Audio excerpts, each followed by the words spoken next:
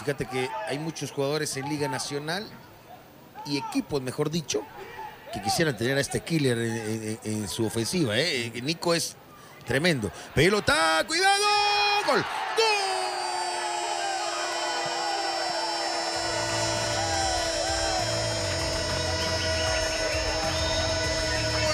de la universidad. Pelota viva dentro de la zona y desde la banca, Pedrito Samayoa en 30 de juego. Asunto resuelto, 3 a 0. Te lo dije, era la solución para la U.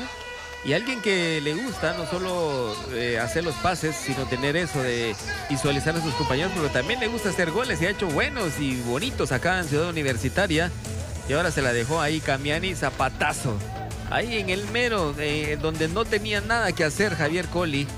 Porque prácticamente ni es Nico Martínez que hace la asistencia, hace entonces dos goles más asistencia, lo de Nicolás Martínez y bombazo de Pedrito Samayoa mediocampista que le gusta mucho llegar al área pequeña y hacer esas anotaciones y pone el 3 a 0.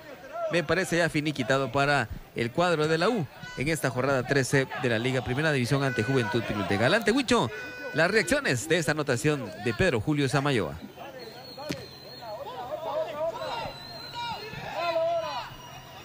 Y bueno, mira que ingresa de cambio, sabe que teniendo el, eh, la mentalidad puesta en ese objetivo que es eh, ascender a la Liga Nacional, el equipo de universidad, eh, todos los jugadores están compenetrados ante un plantel que pienso que viene realmente con esa dificultad, desmoralizados por lo económico, pues le afecta y aquí está la respuesta, lo- el tercer gol de parte de Pedro Samayoa que viene a sentenciar este resultado. Con el 1 a 0, habíamos dicho que faltaba uno para poder asegurar los tres puntos aquí en su casa.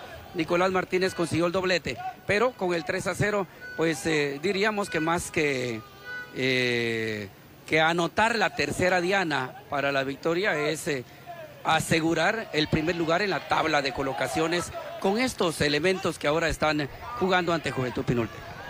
Ahí está el mexicano. Camiani. Pelota abierta con Nico. Samayoa extiende para llegar Brandon. Y Rivas que se quiere quitar la marca. Logró levantar el centro. Así lo hizo Tijereta. De Samayoa no.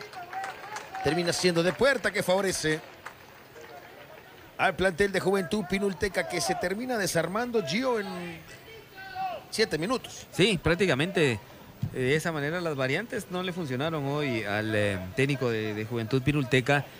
Pero desde que inició el partido, ¿no? Eh, algo, eh, bueno, a pesar de los, se sabe, de los problemas económicos que tiene esta institución, pero a pesar de eso ha ido da- dando buenos partidos y,